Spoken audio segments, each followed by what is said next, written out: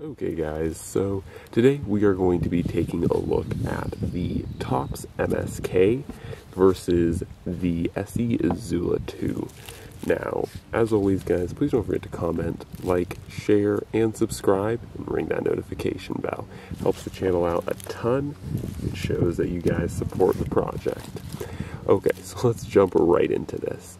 So this was a pretty interesting test, and as you guys probably are already aware, I'm not the largest fan of small bushcrafting and outdoor knives, but I did want to see the comparison of the Tops MSK versus the ESEE Izula 2, because these are two knives that are marketed to a very similar audience, people who want a strong, robust, full tang outdoor survival knife that's a neck knife that's small and compact.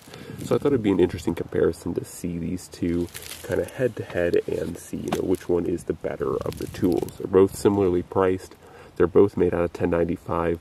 The biggest difference between the two are that one is made in a Scandinavian grind and has a kind of more of a drop point, and the other one is a little bit wider and it's a full flat grind.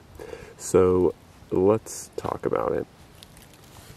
So with batoning, I have to say hands down, I think the ESEE Izula did a better job at batoning. And this is in part due to the fact that the ESEE Izula is slightly thicker of a knife overall, and the fact that the handle, or rather the knife, is overall larger.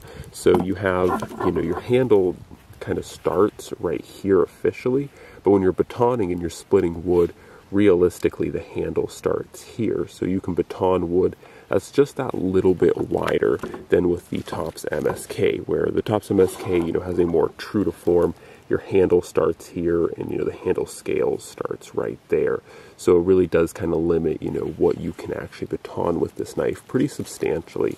But once again, it also is hindered because it is a thinner blade. So not only is it shorter, but it is thinner as well. So it's kind of hindered in both regards. So the ESEE Izula 2 definitely did better better in that in that way. Now the next test was uh, feather sticking, and feather sticking was actually pretty interesting for this one, at least in my opinion. Using the two knives, uh, I feel like the Tops MSK did a little bit of a better job when it came to feather sticking, and that uh, convex Scandi grind or Scandi Vex grind really land, lended its hand well to feather sticking, but the, I think that the ESEE Izula 2 did a better job overall with feather sticking because the biggest downside to the Tops MSK is the fact of its really small handle. And whenever you try to use it to do things like feather sticking, becomes immediately apparent how little surface you have to actually hold on to your blade and try to do procedures like feather sticking.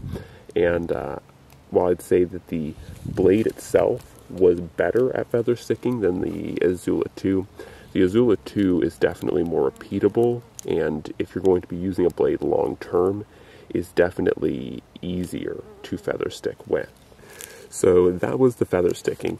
Next, we move on to notching, and this is another thing, or this is another test where, very similar to the uh, feather sticking, I think that the MSK did a better job with its grind, and naturally you would expect something like a Scandinavian grind or a Scandivex to do a better job at, uh, at, at digging into wood and at notching and carving and such.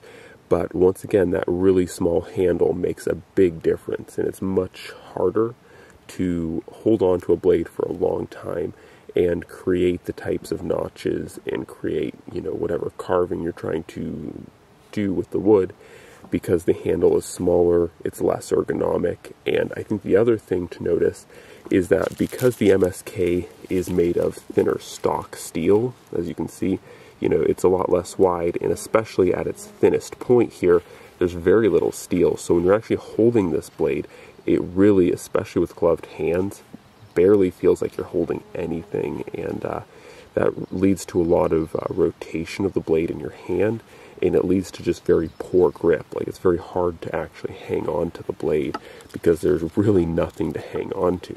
So in this test, I really found that, you know, the MSK has a great blade for cutting. The, uh, the grind is excellent, but it's just ergonomically a very challenged knife. It's very hard to, uh, you know, carve and do stuff with the blade because you're battling with this uh, handle that's just very unergonomic. And uh, that's the thing that I do like about the Izula is it's a little bit wider handle, and even though you know the handle length isn't too much longer than the um, MSK, maybe you know like about a half inch longer, which I guess maybe is, you know it's just that little bit longer, so you can get a proper four finger grip, and the width of the blade stock is just that, so that you really feel it's a small blade, of course. You know you feel that it's small, but you still feel like you have a firm, full grip on the blade, and it's really hard to uh, explain without you know someone using it how big of a difference that actually does make uh, in the use of this blade.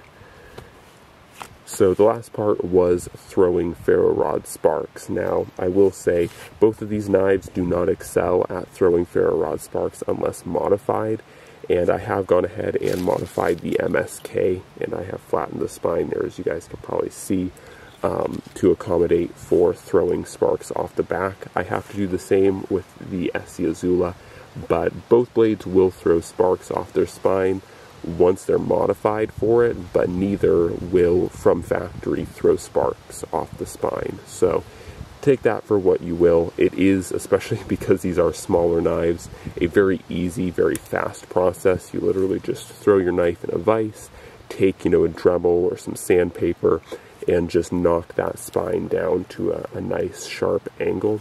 And uh, both of these blades will throw ferro rod sparks just fine. That's basically my experience with the Tops MSK versus the ESEE Izula 2.